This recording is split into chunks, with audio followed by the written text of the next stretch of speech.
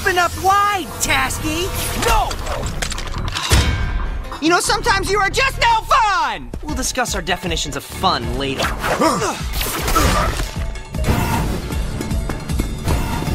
Let's get the shield drive out of here before anyone's secret identity gets revealed.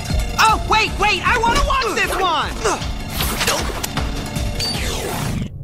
Oh, come on! I thought we bonded! Wait, let me guess.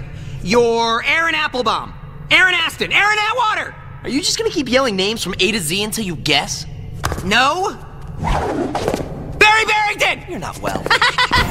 I know. Ooh, cool. What's that? I'm gonna call S.H.I.E.L.D. so they can pick up the file and Taskmaster. Oops! You broke it! Hey! What'd you do that for? Oh, Spider-Man. If you'd studied with me instead of Fury, you might not be so naive. Who do you think I stole the identity list from in the first place? Agent MacGuffin? Confession time! Yeah, it was me. You? And there is no Agent MacGuffin! and also, I stole the list from S.H.I.E.L.D., but Taskmaster swiped it for me when I left my pouches in the potty.